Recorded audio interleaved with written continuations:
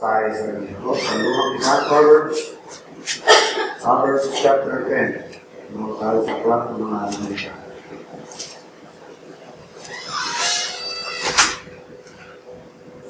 Uh, tomorrow, ito po practice yata yung mga children, no? Araw-araw, yung mga malaman. Kanilang uh, mind. Mind. Alas tres, ng hapon. And the YT will also practice their special number at 4, 5, at 5. Yung mga YT. So, yung mga women, so yung mga practice. Sabado. Hindi, choir yan. Please, ano na yun? Kasi, Ha? sabi ni Miss, Kundi, bukas, saka sa Sabado. Para ma mahirap yung pyesa ng mga kababayan.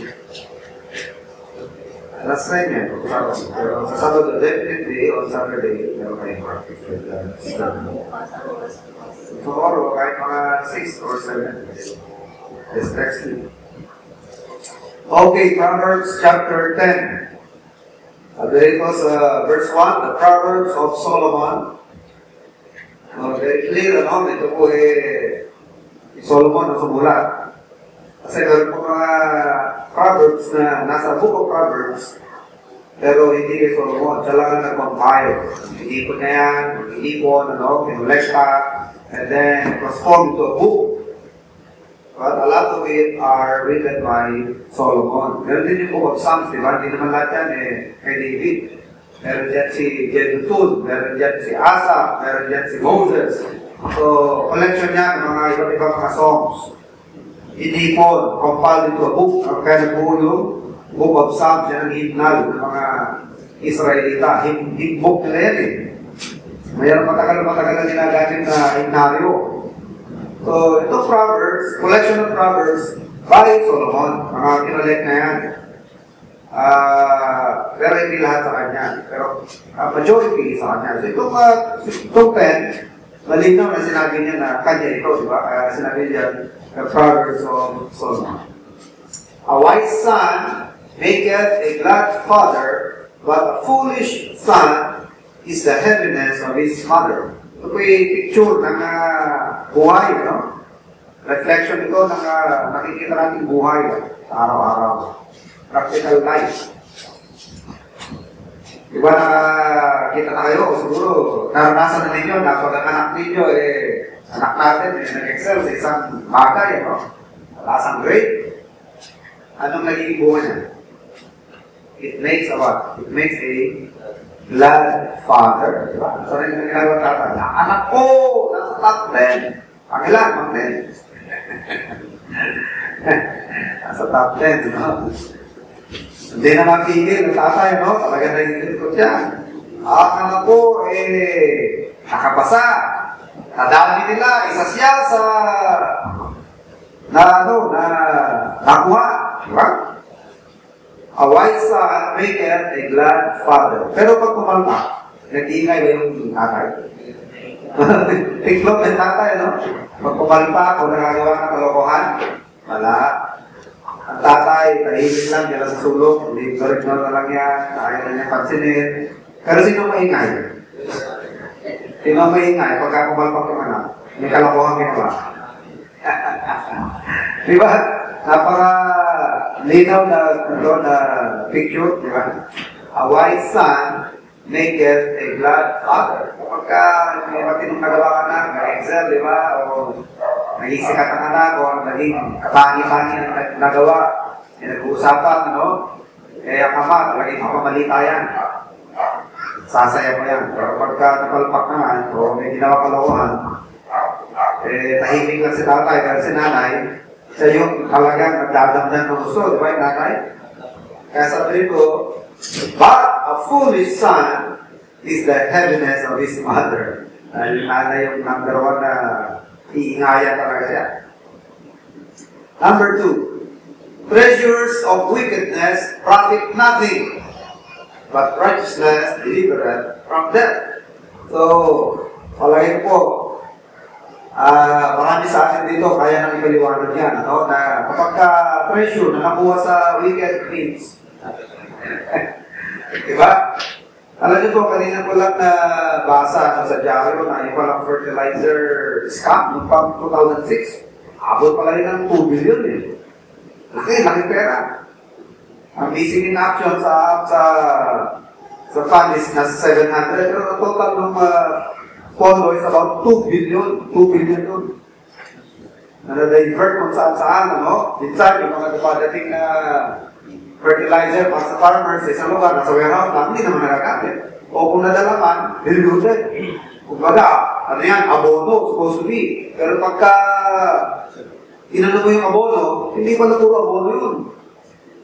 Baka 10% lang ang abono doon, iba yung mga filler lang ah. Kumbaga sa asukal, o ano, hindi puro-puro masukal, maraming dagdag na hindi. Ano? Nagkadagdag na lang, kung saan saan napunta yung mundo. Pero yung mga gumawa ng kalokohan, mga promotor niyan, di ba? Na-enjoy ba nila yung pressure? Na-enjoy ba nila? Kaya parating mo sinasabi nito, di ba? Banda ka na, malapit ka ng mag-take ng huling saludo sa buhay, mga maalam ka na, di ba? You will take your final bow at eh, exit ka na sa mundo. Sana nung maganda yung maalala sa'yo, di ba? Eh, ano eh, kahigit yan pa. Alam niyo ba yung uh, ZTN, ano eh, ZTN, Oh, CPL. Din. ZTE, di ba? ZTE. Actually, talaga pala, China ang mapilit na pumasok dito. Kaya, gano'n ang kanilang pag, pagsuhol. Talaga naman yan ang way, way nila eh, Chinese. Yan ang kanilang kultura, yung manuhol. To get their way, talagang susulang ka, makuha nila. Kasi pala, pagka nakuha nila yung uh, communications, ano, that is a way to spy. Isang way na spy tayo. Lalo pa, ang lakas ng interest nila dyan sa, sa, sa Spratlys. Sa Scarborough, di ba? Ma- Mataas ang interest nila dyan eh. So, ano yan, software yan, service yan, pero it is also a means of spying. Para yan, para ma-spy. Kaya US lang yata hindi ko magat sa ano eh, sa Huawei. Pero halos lang, di ba? Gumagamit ng Huawei. Sabi kayo ng computer na walang Huawei yan. Laptop, yung Huawei. Pero isang paraan yan, inaral ng mga Amerikano yan. Yung palang software niyan, pwede maka-penetrate, pwede maka-spy, maka-espiga sa kanila. Kaya hindi po masasama yun. Meron sila kawaris. Kaya pero manunuro ka ng 200 million, susuhol ko lang yan. Ang halaga ng servisyo, wala ka 200, pero panuhol ko eh. Higit pa sa halaga niyan. Al ganun ka, hindi ako na lang interest, ano? Sinasabi ko lang, yung mga kumagat sa ganyan, yung mga na-involved sa ganyan, wala, hindi happy ending na nag-involved, hindi naging happy ending. Kasi treasures of wickedness profit nothing. Bakit? Hindi nila nadadala. Hindi nila nadadala. Di ba? Hindi rin nila ma-enjoy ngayon. hindi mo na nga madadala sa kanilang buhay, hindi mo pa ma-enjoy dito, di ba? Dahil, kung di na-freeze, ano pa? Kung di na-freeze, eh, wala kayong kalusugan para enjoy. Hindi kayo malaya para enjoy. Bakit? Naka-hospital arrest, naka-house arrest. Masabi, paano mo rin ma-enjoy? Ang dami mo ang dami ang mag-enjoy, pero hindi mo rin ma-enjoy kasi dahil sa kalagayan. May sinasabi na, profit nothing, treasures of wickedness, profit nothing. Napaka-pakatotohanan ito, ano ba? Righteousness, deliverance from death. Pero ang katwiran ay nagdiligtas sa wala sa kamatayan. At napatunayan niya ng Panginoon Jesus, ano? 2 Corinthians 5.21 For Christ hath made him for God, for he hath made him to be sin for us, who knew no sin, that we might be the righteousness of God in him. Si Kristo ang naging katwiran natin sa harapan ng Diyos. Dahil yung katwiran ni Kristo, yun ang nagligtas sa atin sa kamatayan. Ano? So that is very much true. Number three, the Lord will not suffer the soul the righteous to punish. At yan po ay na-display sa buhay ni Joseph. Maalala nyo, no? Kung tayo sa Joseph, talaga wala na tayong pag-asa. Ah, ang moral mo, masyadong mababa, baka gusto mo nang mag-suicide, pero mo, kabata-bata mo pa, ganun na yung ng uh, trial mo, buong pamilya mo, eh, nagkakaisahan ka, Binalang ka patayin, ibinenta, pinagkakitaan, tapos nagtino ka sa amo mo, ang ginawa, pinabilanggo ka pa, di ba? Tuloy niya. Siguro Diyos sa loob niya, it's the end of life for me. Wala, wala na akong pag-asa. Pero sabi ng Bible, He will not suffer the soul of the righteous to punish. Hindi niya hayaan na matuwid, eh magdudusa ng walang hanggan, no? Gawin ng natin na yan, temporary lang yan. It will make him a better person. Alam niyo po yung trials namin, hindi tayo pinapadaan yan para to make you bitter. Kundi to make you better, di ba? Sabi ng mga song na How a Foundation, ang mga gold na dinadaan sa fire, eh hindi para sirain ang gold, kundi lalong gawing mas maganda ang gold. Kasi pag nasa fire, ma masusunog yung mga impurities, yung mga hindi dapat, yung mga hindi kailangan mawala. Ganun din tayo. When we pass through the fire trials, paglabas mo dun sa fire trials, you are a better Christian. Nag-improve ang character, nag-improve ang mga, gal- mga virtues ng isang Kristiyano dumaan sa mga matinding trials. After trials, will come out a more humble person. Di ba? Mas humble ka. Bakit? Mas mababa na yung paa mo. Ipakpak mo, medyo hindi na lumilipad. Nakatiklog na. Talaga mo na, kundi lang sa Diyos. Di ba? I can do nothing. Ano mang ipagmamalikot, ano mga bagay na pwede kong ipagmalaki, napakadaling gawin ng Diyos.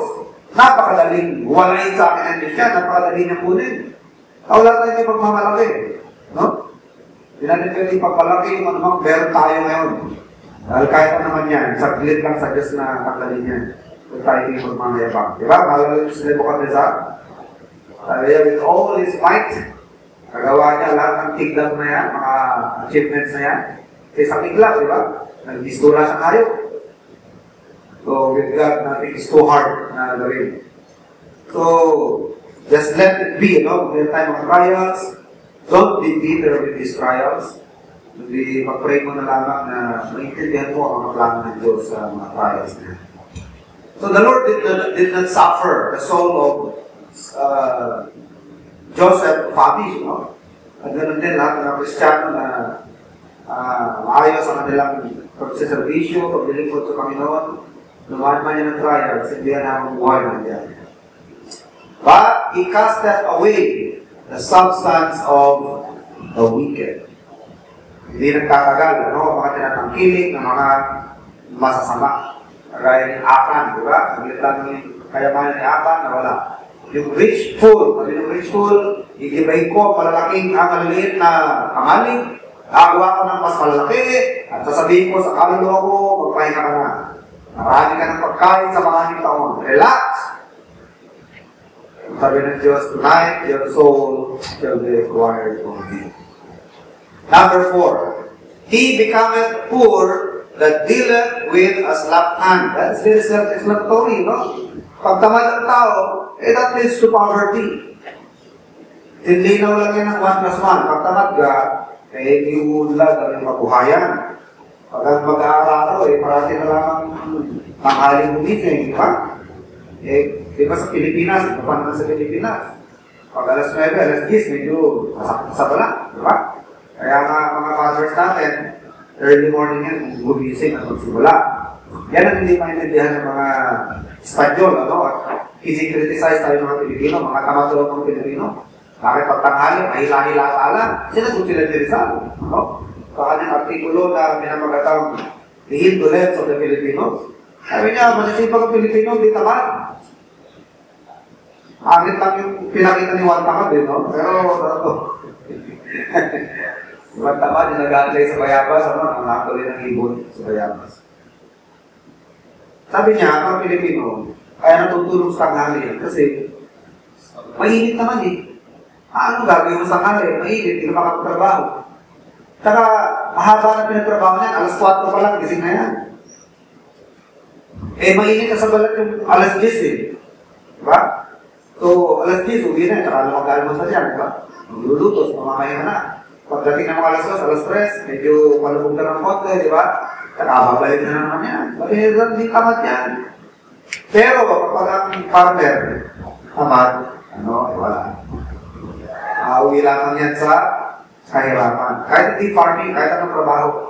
Kapag inuluan natin ng katamaran, maraming trabaho. Ano? Nga ako eh, pag naman si Lucio Tan, unsafe, no? pero yung kanyang pagiging masipag, ano yan? Sabi siya, muna-muna pumapasok at karong iuli ang buhay. Kahit yung basura ng opisina niya, siya pa naglalabas. Ito naman yung yuto, ano? Multi-billionaire, pero basura niya, siya maglalabas ang basura niya. Ano? Ang marami sa mga naging mga multi-billionaire, naintindihan nila yung value of hard work. Alam nila yan. Na walang, walang bagay na nakukuha sa shortcut. Eh tayo nagiging shortcut, ano? Kaya maraming na loloko sa scam, di ba? Marami yung scam dyan sa Sinalaw ngayon, di ba? Laki ng, uh, oo, oh, billion. Because of the easy money, you know? Siyempre, pagkakagaling ka niyan, madadamayan mo sa una. Pagka, ano ka na, eh, ganyo ka nang mag-invest ng mas malaki, doon na sila magluloko. Ulit-ulit na lang yan, ano? Wala na kukuha sa madali. Kung gusto mong yumaman, paghirapan ka rin. Kasi nasa Bible yan, di ba? In the sweat of your brow, di ba? In the sweat of your, brow, you will eat your bread. Paghihirapan mo talaga yan. Eh. Sipagan mo tapos saluhan mo ng magiging masino, matipid, maging thrifty ka, maging frugal. Alam niyo mo, minsan napagbibita ka ng mga Ilocano na kuripot, no? Pero actually, hindi ko pagiging kuripot yun. Ano yun? Ah, discreet, ano prudence yun. At ba, alam niyo po, may kinalaman yung geography eh. May kinalaman geography sa attitude ng tao. Kasi ang uh, Visayas, Mindanao, natural na yan. Fertile na lupa niya. Kahit konting alaga lang sa halaman mo, hayaan mo yan. Alaga mo na baby. Taga ng lupa niya. eh. Nandiyan sa Mindanao, di ba? Libo-libo hektarya ng mga tubo, ano, yung mga yoga, mga kakao. Talagang, napakayaman talaga ng lupa niya. Ang mga, ano yung mga prutas? Duri, ang mga durian niyan, di ba? Ang lalaki, tapos ang bababa lang ng puno, ang mga bunga eh, andyan lang sa ilalim, di ba? Ha, ano yan? O langka pala sinasabi ko, ilangka. Yung mga langka, ang bababa ng mga bunga niya. Bakit? Natural na napakasagana ng lupa niya. Kaya tuloy, yung mga Visayan, Mindanao, medyo extravagant. Medyo, good behavior yan ako. Pangungutang ko muna yan. Total, darating naman yung tagani. Madali lang yan. Kaya medyo na sila medyo maluwag. Kasi alam nila, hindi sila masyadong maghihirap, dadating yung ani. So, medyo extravagant sila ng patay compared to the northerners. Eh, sa parte namang norte, medyo mahirap ang lupa dyan. Mahirap dalawin ang ulan yan.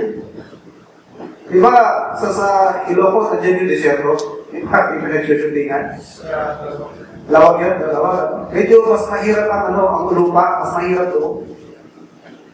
Kaya nag-a-adjust yung mga tao doon na kung meron, hindi ko rin kasi kailangan pahabain yan eh. Pahabain mo yan na tatagal. Kasi matagal pa na rin tagalin. Hindi ito kagaya ng lugar na magpuso ko lang kung taas at buhay. Naranasan ko yun sa Sabela, pag wala-wala talaga, yun, ang mga wala talaga. Lalo man wala pa yung dam, wala ka mga irrigation. So, hindi, ano hindi ka kuriputan yun, eh. talaga ang kaanahan lang, prudence, marunong lang kung paano gasusin yung pagkakasahin. Ngayon, na ano talaga, naging way of life na, naging way of life. Yun ang mga taga-Isayas, hindi mo rin masisi dahil alam nila, abundant eh. Alam nila pag kahit konting alaga lang yan, aani sila, darating ang bunga. Saka in between, in between the harvest, pwede pa sa limang tanim ng iba. Kasi nga, mabiyaya ang lupa. Mabiyaya ang lupa niya. So, lurin ko lang po ano na walang maganda na nakukuha sa madali. Kahit nasa kanta eh, walang makantang maganda na madali. Lahat ng magaganda pinaghihirapan niya. Natin gumithawa, talaga paghihirapan niya. Samahan ng uh, alino sa paggastos, ano, maging wise, maging matipid, masino, ano, yan. Halos lahat ng mga naging multi-millionaires, dyan nagsimula yun. Alam nila yan. Okay? So verse 2, ah, saan ba tayo? Verse 5. Uh, verse 4, He becometh poor that dealeth with a slack hand, but the hand of the diligent maketh rich. Siya naman, uh, talagang masikaso, no? Hindi tinitingin sa, ano, uh, parati ka na lang sa panunod tinitingin. Ako, ako tuloy sa farm. Parati ka lang ganun, no? Sabi ng Bible, whatsoever your hand findeth to do, do it with your might. Ang umahawak sa araw, hindi na palingon-lingon, kailangan determinado ka. Eh, paano yung mga partner? Madaling madaling. Ano? Diligence ka sa kanilang trabaho. Verse 5, He that gathereth in summer is a wise son, but he that sleepeth in harvest is a son that causeth shame. Alam niyo po yung principle na ito. Ano yan eh? Nag-work talaga itong principle na ito. This principle actually works. Kapag hindi tumubra, walang problema dito. Ang problema sa atin. Ano? Na ang naghahanda during summer, figure din yan eh, ano, ay isang matalinong tao. Ibig sabihin niyan, ang future, paghandaan yan. Ano bang field of endeavor mo, kung matalino ang tao, paghahandaan mo yan. Yan ang sabihin niya ng gather during summer. Kasi yung summer, yan ang, uh, yan ang opportune time para gawin yung preparation. Kasi pag dumating yung rainy season, dumating ang, winter season, medyo hirap ka na eh. Kung habang maganda yung panahon, meron pagkakataon, ito yung, uh, ito yung, uh, wala, ito yung tamang-tamang panahon para maganda. I-take advantage mo yan. Kung ginagawa mo yan, matalino ka. At yan, kapatid, applicable in every field of endeavor. Whether spiritual or secular, applicable yan. Gusto mo maging sundalo parang araw, hindi mo kailangan mag-antay na maging adult ka bago mo maganda niya. Ngayon pa lang, mag-prepare ka. Alam niyo ba yung mga nag-gold medalist kung kailan nagsisimula training yan sa, sa Olympics? Nagsisimula kayo pagka 18 lang, parang may gusto ako sa boxing, parang ano ah, parang uh, may hilo ako sa boxing, 18 años ka na. Hindi yun. Niyo ba si Eric Morales kailan nagsimula yan? Alala niyo si Eric Morales yung Mexican ba? Si Eric Morales. Yung mga tinanong ni Pacquiao. Parang si Efren Bata Reyes yun. Doon natutulog sa ring yun, bata pa. Sisimula yung pagkabata. O, doon na inaabot ng antok, doon na natutulog sa mismo sa gitna ng rin. Si Bata Reyes, ganun din. Ano? Hindi simulan yan, bata pa. Gusto mo maging pastor parang araw, gusto maging preacher, teenager ka o bata ka pa, hindi ginagawa yun, plano ka na. Ngayon, ginagana na yan. Kaya naging pastor ka, hindi, maging preacher ka, hindi, makapakinagahan mo rin din. Gusto maging, maging guro, elementary ka pa lang, mo yan, sinasanay mo na ito sa salita mo. Sinasanay mo na mo. Sinasanay mo na grammar mo. Gusto maging mathematician, o kung ano bang profession na gusto mo balang araw, hindi yung kung kailan, ano na, yung late na, tsaka mo paghahanda niyan, hindi. During summer, habang pwede mo pang paghandaan, habang pwede mo pang gawin. Yun po tinuturo sa atin ng principle na yan. It's never too early to prepare. Ano? At pag nagagawa ng tao yan, mga kapatid, he is a wise son. He is a wise person. Huwag mong sabihin na hindi ko naman kailangan masyado masyado ng basa ng Bible, hindi naman ako mapapastor. Babae naman ako, ani pa naman yung doktrina, babae naman ako. Eh, paano kung maging pastor's wife ka, di ba? Di ikaw tagagawa ng record. Yun lang. Malaking bagay yan, di ba? Lalo na sa starting period, di ba? Sa beginning stage ng ministry. Wala pa masyadong maasahan mga makakapagturo. Talagang kayo pa lahat yan. Asawa mo preacher, magbabago study, ikaw naman Sunday school teacher. Pwede pwede sabihin na hindi ko masyadong kailangan pag-aralan yan kasi babae na naman ako eh. Hindi mo masasabi yan eh. Tatay, dapat pinaghahandaan yan, ano? Magiging magulang ka rin parang araw. At ang magulang, dapat tinuturuan ka na sa Biblia. So, tinuturo sa atin dito mga kapatid, prepare, prepare, ano? Mag- Mag-prepare tayo. Hindi ko alam kung anong kahinatan mo balang araw, pero dapat tayong maghanda habang kaya mo pang maghanda. Diba yung, uh, na rito, inabot ang ROTC. Inabot ang ROTC. Sila reserve, ano yan, reserve, reserve officer training. Nakakalungkot lang din sa Pilipinas, ano, during time of uh, calamities, hindi natin take advantage yun eh. Di ba may mga kanya-kanyang unit naman yan, mga ROTC? Di ba sana pinapatawag yan during time of calamity? Uh, ano, wala eh. Parang ROTC lang, tapos wala na. Dapat yan sana magpakinabangan. Actually, ang, uh, ang idea dyan, para in time so far, hindi tayo kakapusin sa uh, alam mo, dinalig sa military. Kaso nga lang, hindi naman parating iwan eh. Pero may mga time na may disaster, di ba? Pwede kang ilang-ilagay sa engineering unit, di ba? Engineering brigade. Rescue. Patawag kung ano yung unit mo, saan ka, magre-report ka doon. Doon ka tutulong, di ba? Maganda sana yan. Ano? Meron pa isa pang bansa siguro. No? Yan ang sabi ko mga kapatid, in times of war, kaya natatalo ang isang bansa, kapag ka naubos na yung mga ano, naubos na yung mga season, yung mga veteran, pagkasi, siyempre sila yung unang salang, mga marines, yung mga veterano. Eh, malalagas yan eh, habang tumatagal ang gera, malalagas yan. Ano yung susuklay mo ngayon? Mga raw, tawag nila raw, ilaw, green. Kumbaga, hindi pa hinog, kulang sa, sa training, kulang sa hasa. Katulog pa lang nakakatal na. Tulog pa lang, bomba, ano na, gusto na tumakbo, di ba? So, kulang sa paghahanda yan. Ilaw, oh, no? So, let's continue. He that gathereth in summer is a wise son, he that sleepeth in harvest is a son that causeth shame. Verse 6. Blessings are upon the head of the just, but violence covereth the mouth of the wicked.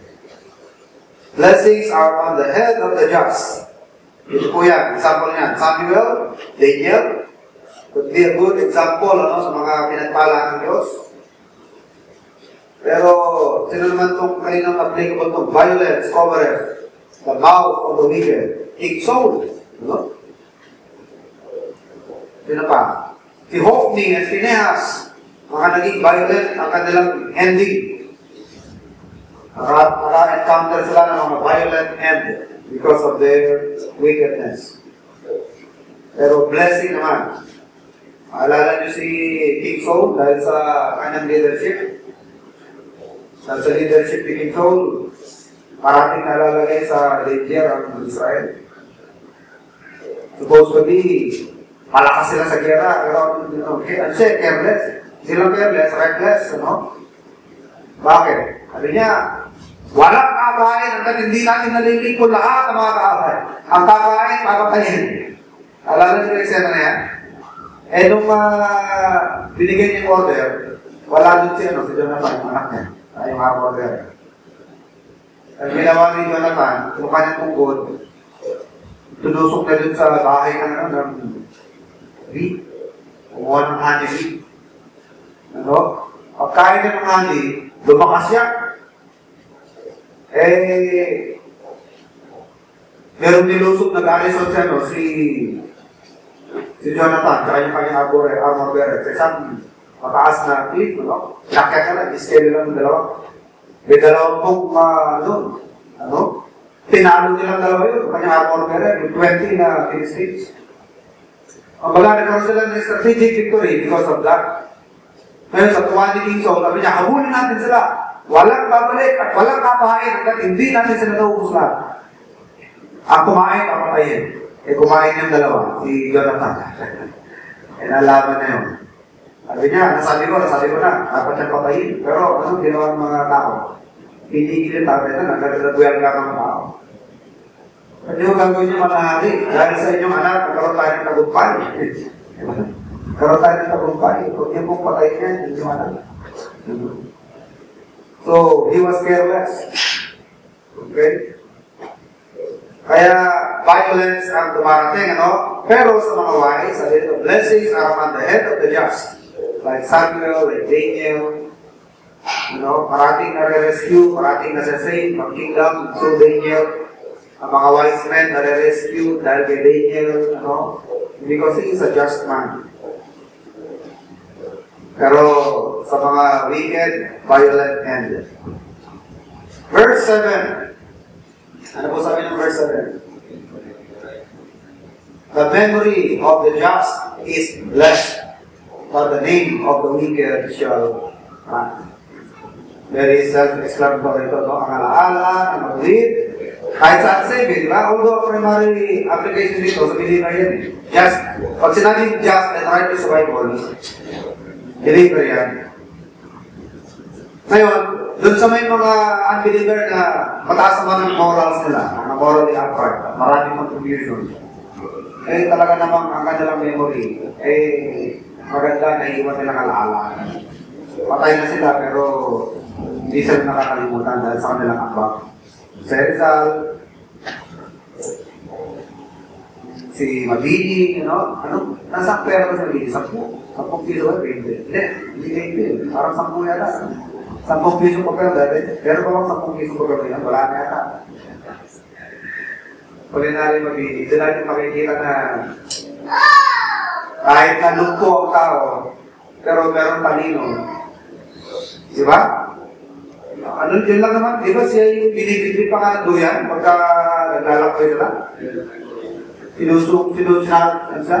Uh, sinasakay sa duyan. Sa culinary mabini. Doon natin makikita na knowledge is power, no? May kapangyarihan ng kaalaman. Kahit nalungko ka, meron kang talino, malaking bagay yun, no?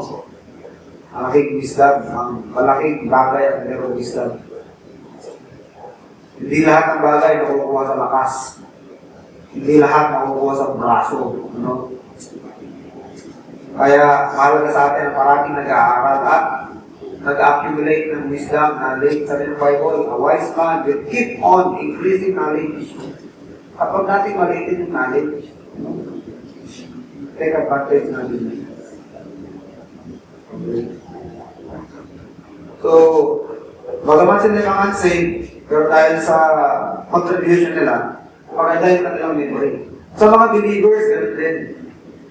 The memory of the just is blessed. Kaya kahit patay na sila, naalala ko rin din sa tao, si George Miller, galing ba si George Miller? Sa yung Briton na nagpatayo ng orphanage na napakalaki, na wala sa pondo. Lahat ang kanilang, pinakain, pinapakain ng mga bata, parating pinapanalangin lang niya. Bukas, hindi niya alam kung saan kukuha ng pagkain, pag-prepare niya lang yan. Sa Padre Bill, hindi naman niya alam kung saan kukuha ng kakainin, dumarating na lang ang pagkain. He is a man of faith, no? si George Mueller, Spurgeon. Yung mga kilala niyo mga Bible days sa mga Kristiyano, no? na grabe ang kanilang na-contribute. Apostle Paul, ano? Pastor Kinner, malapit ng mamayapa, si Pastor Kinner, ano? Ano yung kanyang alaala, eh, hindi natin makakalimutan yan. Kung financial ang pag-uusapan, convert nyo kayo ng $20,000 dollars, magkano yan? Or mga more than $20,000 dollars. Magkano yan? Nakwenta, malaki, no? Ang, ang ano, 1,000 magkano sa 1,000? 40. 40 times 20, magkano yun? Mga 800 or 800,000. Yeah? Worth of materials, books, literatures. Ang kanilang pinadala dito sa Pilipinas. They had a total of five or six travels dito sa Pilipinas. Hindi pa kasali yun. Pero yun, biyahe na rin ito. Hindi lahat ng kanilang misyon natuloy. Hindi lahat ma- matino. Marami rin mga palpak. Ano?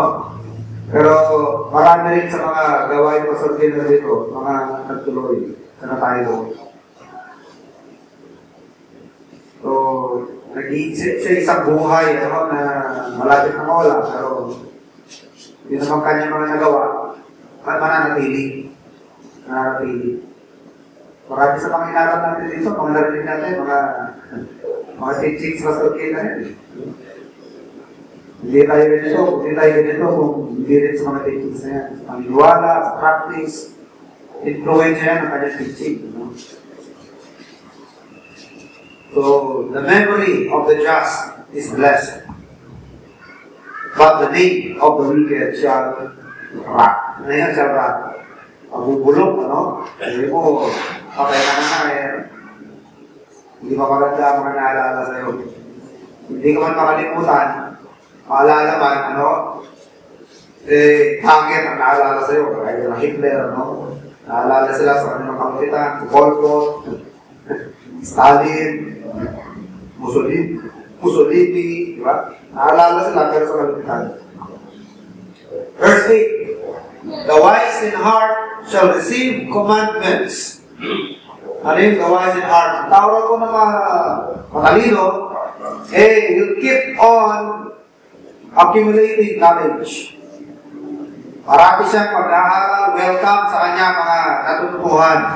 Hindi siya nagsasabi, alam ko na yan. Hindi siya nagsasabi, wala ka nang, wala kang alam na hindi ko pa alam. Hindi siya gusto nagsasabi ng gano'n, no? Kasi nga, yan ang pinakamalaking room sa lahat sa buong mundo, yung room for improvement. Pag mo sasabihin, wala nang i-improve sa'yo. Lahat tayo, meron pa rin room for improvement. Meron pang ligaganda ang uh, performance natin, ang kaalaman natin.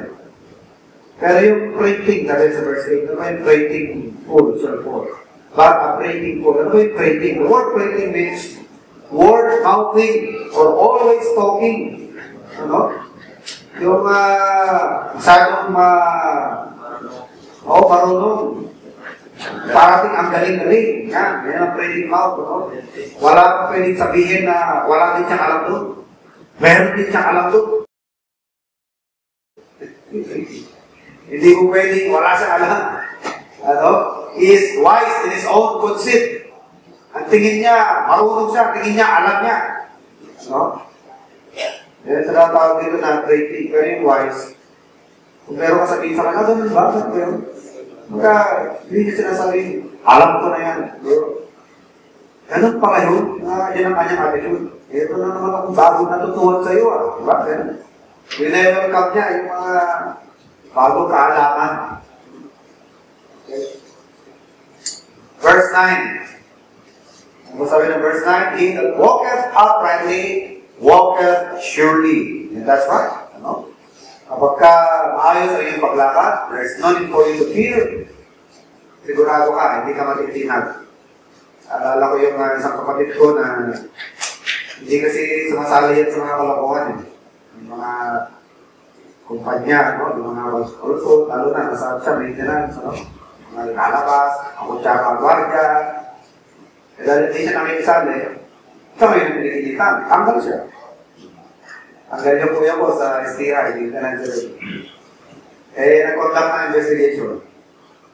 Na-discover na hindi pala siya. At yung mga nagkutsaba lang yung mga ibang mga mga nasa department na yun, pati gwardiya, ngayon hinahabol siya. Nahabol ngayon yung kapatid ko. Dodoblesin namin ang sahod po, bumalik ka lang. Ano lang, wala, ayaw na. ayaw na, kapatid ko. Ano? Pero sinasabi ko na, if you are upright, eh wala kang dapat kapagutan, di ba? You are sure. Magkaroon ka ng investigasyon, eh, kakatakot mo, di ba? Nasa side mo naman ang katotohanan. Kahit batay mo ng batay ng puti, katotoo, eh, totoo yun eh. Di ba? Parang dito, di ba? Lagyan mo ng, lagyan mo naman ng, lagyan ng puti at dito, uh, bago ba yung dito, di ba? Nanatili pa rin dito, ganda ng katotohanan. Haluan mo ng haluan ng puti ng katotohanan. Ang katotohanan, ang katotohanan niya. Ano? Pagka sinalang yan, makatanggal ang putik sa hindi. Sabi dito. O, pandi dito ako, pandi ng totoo. So he that walketh uprightly walketh surely. But he that perverteth his ways shall be known. Ano yan? Ay, discover. No, yung spin of nose, ahayat. Mabubuking, di ba sa term natin? Mabubuking ka. Di ba? Di ba, nabibili ka yan, walang lihim na hindi matutunan niya. Binibiro-biro lang natin yung ano, hindi naman nasisinungaling eh. Naglilihim lang eh, di ba? Biro yan isang pastor, ano? Pero nasa Bible po yung sinasabi na walang lihim na hindi marunong niya. No? There's nothing secret that shall not be revealed. Kung meron daw kalokohan ng tao, no? Eh, he shall be known. And that was, that is being uh, repeated to us in ano, or that was earlier stated in the book of Numbers. Rather than stated in 32 verse 23, you know, you'll be sure your sin will find you out. Remember ka verse? Your sin will find you out. You will be overtaken by your sin. You will be overtaken by your crime. Mahabol ka. Mahabulan ka niyan. Sabi ng Bible, until there is no remedy. Nasa wala nang remedy dyan. Sabi ng Bible, issue. Sin will find out. Aabutan ka niyan. Ma-overtaken ka niyan. Pero yung lumalakad ng upright, walketh surely. Walketh uprightly, walketh surely. Verse 10. He that winketh with, his, with the eye causeth sorrow, but a breaking fool shall fall. Ano yung uh, winketh with the eye? Di ba pagka nagbibiro-biro ka sa isang tao, tapos kikitat ka pagka alam mo biro lang, winketh with his eye. Di ba? Alam niyo po, yung uh, laman ng yung ating yung sinasabi ng bibig must be in agreement in our eyes. Kapag ka nag-agree, yung sinasabi ng bibig mo sa body language ng mata mo, sa kinikilos ng mata mo, eh okay yan. Pero kapag ka walang agreement, hindi nagkakasundo, may sinasabi ang bibig mo, saan ang galing yan? Galing sa puso mo yan. Lumabas sa bibig mo yan. Pero hindi totoo yan at namamanifest sa mata mo yan. Kapatid, you bring sorrow. Nagkokos ng sorrow yan. Sabihin, you do not actually mean what you are saying. Kasi kinokontra ng mata mo yung, wala kinokontra ng heart mo yung buka ng bibig mo. Ano? Wala, hindi nag-agree. Hindi talaga honest. There is no honesty. So, pagka ganyan mga kapatid, ano anong resulta niyan? It results sorrow. Anong sino pong classic example niyan? Judas, di ba? Judas Iscariot. Ano yung action ni Judas na nagkikreate ng sorrow? Kiss. Di ba? Ano ba dapat ang meaning ng kiss? Meaning should mean what? Affection, di ba? Ha? Pero ano naging resulta ng kiss niya? Ano naging bunga? Diba? Death, destruction. Kaya, yung action is opposite with the meaning of the heart o ng laman ng puso niya. Ano yan? Dishonest yan. And sometimes then we, we become guilty of that, ano, na minsan, parang uh, pinupuri-puri mo ang tao, pero behind the back of your mind or, or, or your heart, you hate that person. Pero pagkaharap mo, binibigong-bilog mo pinupuri-puri mo. Pero sa puso mo, you hate that, you hate that person. Kaya, ganyan ang, ganyan ang uh, sitwasyon, mga kapatid. Eh, do not flatter, no? Do not flatter a man when you actually hate him.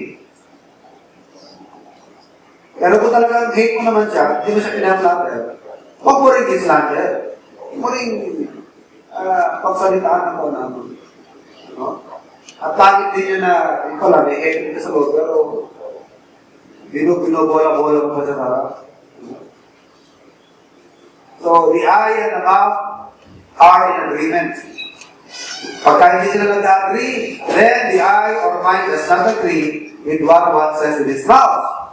Ang sabi ng Bible, it causes a great deal of sorrow. Kaya ng ginawa ni Judas, no? Balik siya sa Panginoon, ang all that sa atin ng halik is affection, pero ang resulta pala niyan ay pagkatraidor. Ang ibig sabihin pala nun ay pagkatraidor din sa Panginoon. Verse 13. Kung natatandaan pa ninyo, ano, yung uh, nauna natin mga talakayan dito sa Proverbs, sabi ko, bawat isa sa atin, meron, ano sa atin, may mga nauugma na proverb. Eh. Meron mga nababagay sa atin. Diba, meron mga tumutugma sa atin sa pagkatao natin, personalidad natin, ano? Meron mga tumutugma sa atin eh. May umexakto. May sumasaway, meron mga pumupuri sa atin ng proverb. Ano? So, itong verse 13, meron pong mga, ano eh, In the lips of him that hath understanding, wisdom is found. But a rod is for the back of him that is void of understanding. Pwedeng example na maalala mo yan is King Solomon. Wala sa bibig ni Solomon, lumabas ano? Maraming wisdom. Pero, yung rod na naging, naging uh, astigo o resulta, kanino nang galing yan? Kanino lumitaw? Doon sa anak niya, di ba? Yung anak niya na ayaw makinig sa tayo. So yung anak niya, sabi ng mga mga mga ng counselors, ganito ang gawin ko. Ako sabi niya, sige, uh, pag-isip ko kaya, tinawag na rin yung mga ano niya, age level. Ano pa yun niyo? Ah, magtataman yung mga tao, pahirapan mo sila, doble mo yung ano, doble mo yung tax. Hindi siya nakinig sa wise counsel. Ano nangyari? Civil war. Civil war. The kingdom was divided. So, sabi nito, uh, in the lips of him that hath understanding, wisdom is found, but the rod is for the back of him that is void of understanding. Verse 14. Wise men lay up knowledge, but the mouth of the foolish is near destruction. So, ang mga, mga, pantas na tao, eh, parating nag-iipon yan ang kaalaman. Nag-iipon yan. Welcome yan ang bagong kaalaman. Welcome ang knowledge. Welcome ang wisdom. Hindi store niyan. Hindi niya tinatapon yan. No? So, he keeps on accumulating wisdom and knowledge. Pero ang fool, Eh, destruction of the poor, in siya, sa verse 14. But the mouth of the foolish is near destruction. Verse 15. The rich man's wealth is his strong city, but the destruction of the poor is their poverty. 16. The labor of the righteous tendeth to life, but the fruit of the wicked to sin. Tama po yan, ano? Ang matuwid, ang kanyang mga ano? Mauwi sa buhay. Verse 17, He is in the way of life that keepeth instruction, but he that refuseth reproof error. He that hideth hatred with lying lips, and he that uttereth slander is a fool. Tingnan ko kanina na may galit ka, hatred mo, ano? You have hatred, pero pagka nasa eh, puro papuri ang tinasabi mo sa tao. Ano? The Lord do not like that, no? So, you, you hide your hatred by means of lying lips. And if you slander, according to the verse, you are a fool when you slander. No? Ano ba yung slander? Palit ng siraan, puri. No? Siraan mo ng puri isang tao. Kaya kung ayaw mo sa tao, eh, huwag mo siyang bula-bulahin sa harap mo. Eh. Wala, ayaw mo sa kanya, di ba? Tumahimik ka na. At the same time, huwag mo rin naman siyang islander at his back. Ano po ang uh, instruction sa atin ng Panginoon? Leviticus, kung paano i-handle yan. Leviticus 19, 16 17. Pakibasa niyo. Leviticus 19. 16 and 17. Thou shalt not go up and down as a tale bearer among thy people. Huwag ka raw maging mapaghatid dumapit sa Tagalog, no? Pero pala niya ng Tagalog yun. So, hindi mapaghatid dumapit. Tale bearer means chismosa o chismoso. Huwag ka maging chismoso o chismosa. In the midst of, that's uh, 16. Thou shalt know not go up and down as a tale-bearer among thy people, neither shalt thou stand against the blood of thy neighbor. I am the Lord. So, paano mo masasabing chismis o gossip o samba? Kapag kasi ng sobrahan yung kwento, gossip ba yun? Paano kung ikinukwento mo, pero wala namang lagis, wala namang kulang, kinukwento pa rin sa tao, ibang tao. Matatawag pa rin mga business mo. Chismis pa rin yun. Hindi ka naman tinatanong eh. Anong dahilan mo? Ba't mo kinukwento? Pagpalagay, kasi sa pangit na ginawa. May, may, may ah, bagay na ginawa siya kasi sira niya. Kinuwento mo buo-buo sa isang tao. Ba't mo kailangan mo? Anong, anong ibig mo sabihin yung kinuwento? Gusto mo ba yung pinagkwentuhan mo, lumit ang tingin sa kanya? At ikukwento mo yun sa iba? Ikukwento pa rin mo? Ano? So, hindi hindi kailangan mag mayroong falsehood. It doesn't have to have falsehood for one a gossip. Kahit walang sobra ka sa kinuwento mo, kahit walang kulang sa kinuwento mo. Pero yung kwento ka ng kwento na hindi naman kailangan, that's equivalent to being a tale bearer. No? And ang sabi sa atin ng Panginoon dito is, do not, thou shalt not do that. Verse 17, Thou shalt not hate thy brother in thy heart. Thou shalt in any wise rebuke thy neighbor, and not suffer sin upon him. Meron siyang hindi magandang ginagawa, sabi ng Bible, i-rebuke mo na lang siya. Thou shalt not hate thy brother in thy heart. Huwag mong, huwag mong pagkimkiman ng ah, hatred ang isang kapatid sa puso mo. Diba? Bilang nga sa atin ng Panginoon, eh, be angry and sin not. Saka let not the sun go down in your anger. Ah, uh, yan eh, it works both ways eh. Good for both of you and for you also. Kasi, hindi, hindi healthy yung meron kayong hatred, hindi healthy yan. Alam niyo ba yung ah, energy na nawawala sa'yo? Di ba yung energy? Pwede mawala sa tao dahil sa emotional stress. Merong tao na dahil sa kaisip ng ganyan eh, kakain ng mais, pag dumi, mais pa rin. Apektado yun eh. Hindi yan, hindi yan, hindi yan yan ah, nabasa. Totoo yan. Kinukwento sa akin yan isang kakilala ko. Tapos kaisip niya ng kaisip, talaga pati padunaw niya apektado. Ano? Kaya healthy para sa lahat yung kung meron kang pinagagalingan. Sabihin mo ulit sa kanya, ay hindi na umaba ka, lumawa ka kung saan saan pumunta, no? At kinabukasan, tapos na, lumubog na araw eh. Kasabay yung paglubog ng araw. Eh, yung paglubog ng uh, sitwasyon, no? Kaya sabihin sa atin ng Panginoon, Thou shalt not hate thy brother in thine heart, thou shalt in any wise rebuke, uh, thou shalt in any wise. Ano is binang thou shalt in any wise? Rebuke mo! Kung mali ginagawa niya, i-rebuke mo siya. At huwag mong hayaan magpatuloy ang ginagawa niya kasalanan. Kasalanan yung ginagawa niya eh. Kaya pag huwag mong hayaan, tumuloy-tuloy mo yun. I-rebuke mo na agad siya para matigil na niya. No? Ayan po eh, kaalan din ng verse 18 ng Proverbs na you hate your brother, eh, do not uh, kung mula nga siyang bula-bulahin mula sa, sa puso mo, eh, nahihigil ka. Kung di mo talaga maalis yung hatred yan, huwag mo rin siyang islander. Huwag mo rin siyang siraan ng muli. Nakakaganda niyan, eh, kung hindi kung uh, maharap mo, harapin mo. Pero kung kaya mong tiisin, at ayaw mong harapin siya, titiisin mo, pero kung nalagkwento. Di ba? Pero kung hindi mo matitiis, hindi mo may kwento sa iba, eh, harapin mo na lang siya para hindi mo magkwento. Di ba? Mas maganda na yun, ano?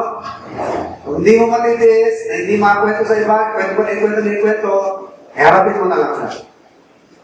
Pero kung kaya mong iisin na ha? Eh, manahimik ka na lang, bigyan mo lang sa Panginoon, ha? Sarili mo na lang. I think that would be the best. Po ang mga tapagunan. So, balikan po natin, ano? Proverbs 10. Tapusin po natin. Verse 21. Ano po sinasabi sa 21? Ano? 19. In the multitude of words, there one that not seen, but he that refraineth his lips is wise. So, hindi tayo masyadong galante sa mga salita, mas wise na, ano? Uh, refrain ka. Kaya, hinay-hinay sa pananalita. 20. The tongue of the just is as a choice silver, the heart of the wicked is little worth. The lips of the righteous feed many, but fools die for want or lack of wisdom. Yan, no? Lips of the righteous feed many. Uh, uh, 22. The blessing of the Lord maketh rich, and he addeth no sorrow with it. So, kung tunay na blessing niya, hindi magre-resulta yan ng sorrow. Marami mga tao na lumaki na yung, yung kayamanan nila eh. Ando pa rin yung sorrow eh. E pagka ganyan, magduda ka na, sa parang galing yung riches na ito. Hindi galing sa Panginoon to ah. Akala ko, kung galing sa Panginoon yung blessing, dapat masaya natin, di ba? May peace, may joy. Puro masaya ang tao, nagpapalak ang Panginoon, natutuwa, nagagalak. Pero yung sinagpala sa material, pero puro away pa dito, puro away doon. Mayaman ka na nga, pero parang puno-puno ka nga, napakarami mo ang apple, pero puro maasin na. Blessing, hindi may enjoy na may sorrow. Oh, parang hindi galing sa Panginoon yata yan. Pero kapag sa Panginoon ang galing, sabi yan, He added no sorrow. So, blessing of the Lord maketh rich, and He addeth no sorrow with it. Nakakatakot yung ano, no? Umaman ka, tapos maya-maya, yan na yung mga kumakatok, no? Nakatakin na ho namin yung kotse nyo. Natakin na ho namin yung bahay nyo, editin na ho namin. O ano pa ba? Mga ano sa'yo? Ano? Ka may kaso kayo, estafa. Ay, mukhang parang hindi nagkaya ka ng galing ng 23. It is a sport a fool do mischief, but a man of understanding hath wisdom. Isang mama, ang kasalanan, parang laro lang sa kanya. Parang naglalaro lang, kanyang immoral na buhay. Laro lang sa kanya, bisyo. Laro-laro lang sa kanya, kasalanan, mischief. 24, the fear of the wicked shall come upon him, but the desire of the righteous shall be granted. As the whirlwind passeth, so is the wicked no more, but the righteous is an everlasting foundation. Ito naman yan, yung wicked, sandali lang, no? Saglit ang buhay lang. Hindi na sila tumatanda masyado eh. Aga silang namamatay. 26, As vinegar to the teeth, and as smoke to the eyes, so is the sluggard to them that sent him. Ano raw po ang uh, experience sa isang tangan? Para kang nuusukan sa mata. Para kang may maasim na nasa bibig mo, sa bibig mo, no? na maasim. Kaya mo, nagutos ka, tapos yung utos mo, ikaw rin pala gagawa, dahil inutosan ko, hindi rin pala kumikilos. Kaya nangyayari yan, dami mong utos, tapos kung nahuli, ikaw rin pala gagawa sa lahat ng inutos mo napakarami. Bakit? Tama? Ang inutosan mo. O kaya may inutosan ka eh, pagka utos mo, nabuti na yung mata ko, wala pa rin. Ano? Palit-palit na yung paa mo.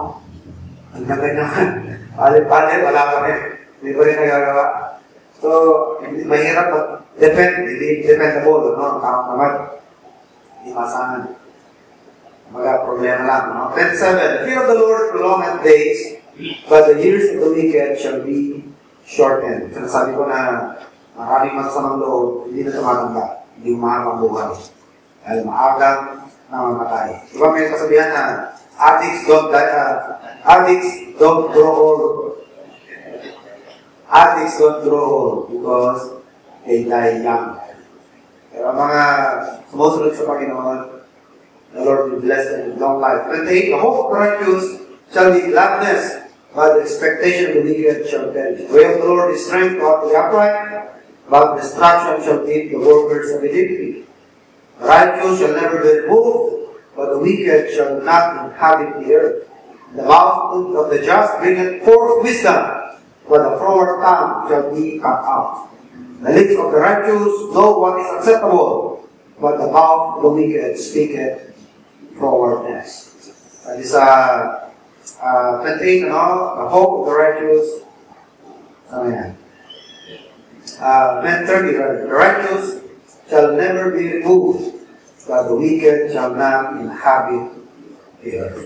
Tama po ano? Sabi ng Matthew 5.5, uh, Blessed are the meek, for they shall see God. Palad ang mga manamang puso, pagkat makikita nila ang Diyos. Pero kung sa verse, ano, sa Psalm 37, Psalm 37, 11, hindi ko ako nagkakamali. The meek shall inherit the earth and shall delight themselves in the abundance of peace. So, hindi po yung mga conqueror ang magmamanan sa lupa. Hindi yung mga matatapang. Hindi yung mga siga.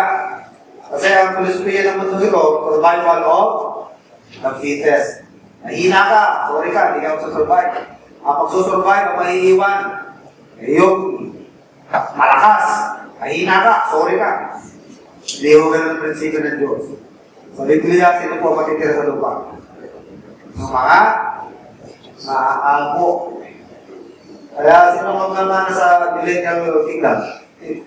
Di ba? Mga believers, na tayo tinutukoy siya ng meek, you know? A meek shall inherit the earth and shall delight themselves in the abundance of peace. So, malang araw, mga kapatid, matutupad din yan. Huwag kayong mag-alala, pag tayo, babalik ulit tayo rito. Yung mga hindi natin nagawa, kung tayo po'y nasa lupang katawan, ah, pangyayari yan sa millennium. Amen? Marami tayo mga ninanais, mga desire, o pinapangarap, sana rin ito, pero hindi nangyari. Sabi ng Bible, we will reign. We will reign in the earth. Matagal yun. 1,000 years yun, di ba? Millennial reign is 1,000 years. Excited ba kayo na babalik ulit tayo dito ng sabi kong taon o ayaw na ninyo bumalik? Huwag niyo pong masyadong uh, sipin yung langit na inakayari sa langit. Kasi yung, yung langit, ibababa din naman sa lupa, eh, di ba? Iba yung dadalhin tayo sa langit, tapos ibababa na naman tayo rito. Tapos, bababalik naman tayo sa New Jerusalem, di ba? New Jerusalem, bababa na naman sa lupa, di ba? So, babalik pa rin tayo rito. Anong pa pansamantala lang na mawala tayo sa saglit, ano? Kaya nga pag nag-rapture, eh, sandali lang din, babalik na naman tayo. Yung mga namamatay, anong uh, paalam sa mga namamatay na Kristiyano? Oo, hindi bagay, hindi goodbye. Till we meet again. Nagpaalam na ako kay Pastor Kenner, eh, sabi ko, till we meet again. Kasi nga, sabi nung uh, tumawag sa akin, he's about to die. Yun yung mga hindi na gano'n. Kaya kung meron kayong mensahe, bigay nyo na sa kanya habang nababasa ka niya. Yun ang sinabi. Till meet again. Maaaring din po kayo bumalik. Sabi ko, pag-pray po namin na nabahat ako yung buhay, pero kung hindi na, eh, magkikita pa naman tayo. Till we meet again. Ito. Hindi naman sayang ang buhay nyo. Marami kayo na natulungan, marami kayo na itulong, marami kayo na contribute, at mawala man kayo, yung mga nagawa ninyo, matagal na mga mananatili sa mundong ito. Mga libro niya, mga paintings niya, naiwan lang kami. Kaya the memory of the just is blessed. At ko kayo, pwede mo pray. Heavenly God, salamat